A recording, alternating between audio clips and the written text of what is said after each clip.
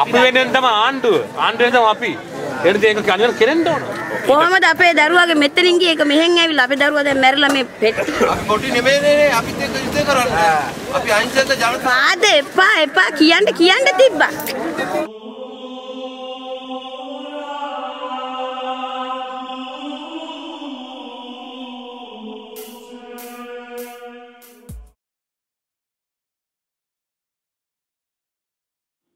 පසුගිය 15 වනදා හලාවත එගඩවැල්ල ප්‍රදේශයේ පැවති විරෝධතාවයකට ආරක්ෂක අංශ වෙඩි තැබීම හේතුවෙන් එක් අයෙක් ඝාතනයට ලක් වී තිදෙනෙක් මාරාන්තික තුවාල ලැබිය. ආරක්ෂක අංශ විසින් මිලේච්ඡ ලෙස ඝාතනය කරන ලද ඇන්ටන් ප්‍රනාන්දුගේ සිරුර ඊයේ එගොඩවැල්ලට ගෙනෙනු ලැබුවේ ඔහුගේ සමීපතමයින්ගේ සෝසුසුම් මැදය. එසේ ඝාතනය කරන ලද ඇන්ටන් ප්‍රනන්දු නම් 33 හැවරදි දීවර කාර්මිකයා දෙදරුපියකි.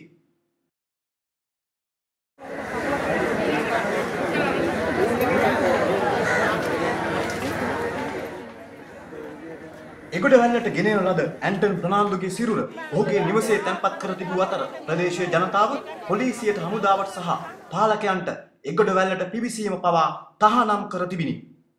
ඊයේ වන විට කිසිදු ආරක්ෂක නිලධාරියෙක් එගොඩවැල්ල ප්‍රදේශයේ දක්නට නොවූ අතර විශාල හමුදා බටපිටිස් සහ සන්නද්ධ රථ හලාවත නගරයේ ගාල් කළ තිබුණේ ඇන්ටන් ප්‍රනාන්දුගේ ඝාතනයට විරුද්ධව දමා ඇති කළු කොඩි මැදය.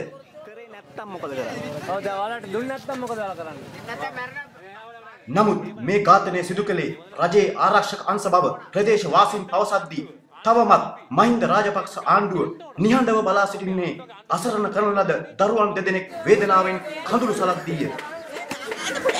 අපි මෝද ගිලක් මැරෙන්න ඕන මේ වගේ වෙලාවටත් මැරෙන්න ඕන මොනවද තේරුම මෝද ගිලත් මැරෙන්න ඕන අපි අසරණත්වයට උගෝසනට ගිහිල්ලා අන්තිමට අපිට මොනා අපිට මොනා සිද්ධ වුණේ වෙඩි කණ්ඩ වුණා අපේ එක්කෙනෙකුට. අතන වෙඩි කණ්ඩ වෙලා එක්කෙනෙක් මැරෙනවා. හරිද? ඒ කියන්නේ ඒ ඒ තුන්දෙනාගේ තත්ත්ව මොකද්ද කියලා කියන්නේ? ඒ කන්ද තුන්දෙනා තත්ත්වයේදී මේ මැරෙනවා වගේ තමයි. ඒ කියන්නේ ඒ තුන්දෙනා මැරලා මැරෙනවා වගේ තමයි. ඒ කියන්නේ මේ එයා ගත්තේ නැහැ. කොල්ලගේ කකුල නැහැ. අත තව එක්කෙනෙක් අත මෙතනින් ගිහිල්ලා ඉතින් මැරෙනවා වගේ තමයි ඉතින්.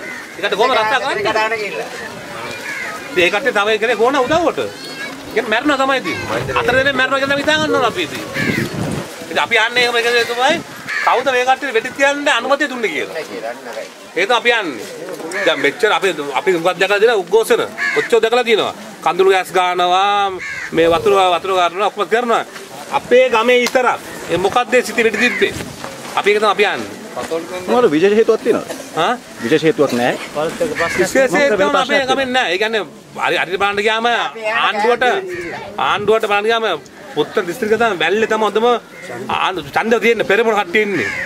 එහෙම ඉඳගෙනත් අපිට මේ වගේ වැඩ කරනවා නම් වැඩක් නෑ නේද? අපි ආයි කොහමද ආයි ඡන්දයක් ආවද අපි ඉදිරියට වෙලා වැඩ කරන්නේ. අපිට දේශපාලනෙත් එපා. අපිට හරි දේශපාලන කරන්න මොනවා කරන්න ඕන නම් අපිට හරි සාහනයක් ඕන. ඒකද අපි කියන්නේ. අපි යුද්ධයක් නෙමෙයිනේ කෙරුවේ. අපිත් එක්ක යුද්ධෙනේ මේ කෙරුවේ. හමුදාව වෙන්න හමුදාවයි පොලිසියයි අපි කොටිද? නෑනේ ඇවිල්ලා යුද්ධයක් අපිත් එක්ක කරුවේ. අපි කොටි නෙමෙයිනේ අපිත් එක්ක යුද්ධ කරන්නේ. අපි අහිංසක ජනතාව දීවර ජනතාව. මෙච්චර අපරාධයක් කෙරුවා. ඇවිල්ලා. අපිට ඕන 25 අඩු කරන්නේ. ඒට වඩා රුපියල් 20ක් තුනක් කමක් නැහැ ලීටරයකට අඩු කරලා දෙන්නම ඉවරයි. තාම කිසිම පිළිතුරක් ලැබුණේ නැහැ අපිට ඒක. මේ පිළිතුර අපිට පුළුවන් ඉක්මන ලබා දෙන්න කියලා කියන්නේ. ඒ කියන්නේ ජනතාව දවසින් දවස විදානේ අම්ම කන ජනතාව ඉන්නේ. ඒ ජනතාවට සති ගාණක් බඩගිනින් ඉන්න බෑ. ඉන්න බෑ. රස්සා නැතුව.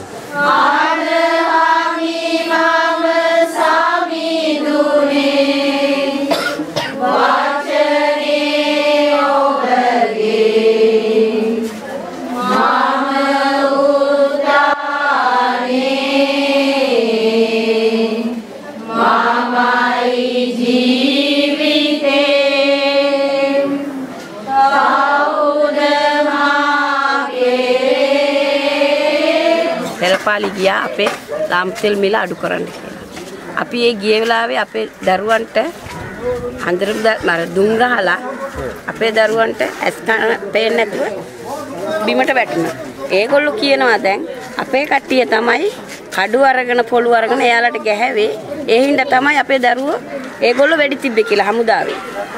දැන් ඒක ඇත්තක් කියන්න බෑනේ. මැෂින් වලින් තමයි එයාලා වෙඩි තිබ්බේ. ඉඳගෙන දන ගන්න දැන් ටීවී වල ඔයාලා වුණත් දැකලා ඇතිනේ. ඊට කොටින්ද දීපනාවද අපිට අපි යුද්ධෙට ගියේ නෑනේ අපේ දරුවෝ අපි ඉල්ලන්නේ මහමුදේ යන දරුවෝ ඉල්ලන්නේ අපිට භූමි තෙල් මිල අඩු කරලා දෙන්න කියලා. වෙන මුකුත් අපේ දරුවෝ ඉල්ලන්නේ ඉතින් අපිට තියෙන්නේ මේ දැන් අපේ ජීවිතයක් නැතුව ගියා. තව දෙන්නේ කිස්පිරිතාලේ ඉන්නව අතපය නැතුව.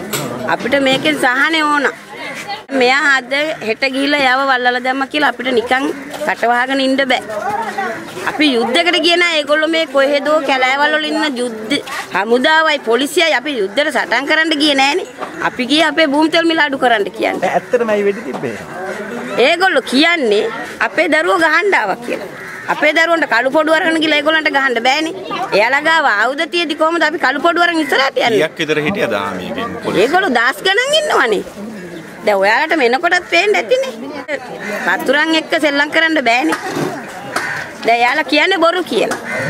කොහොමද අපේ දරුවාගේ මෙතනින් ගිය එක මෙහෙන් ඇවිල්ලා අපේ දරුවා දැන් මැරිලා මේ පෙට්ටියේ ඉන්නේ. එයාලා වෙඩි තිබ්බේ නැහැ කියන්නේ කොහොමද? අපේ පාද එපා එපා කියන්න කියන්න තිබ්බා.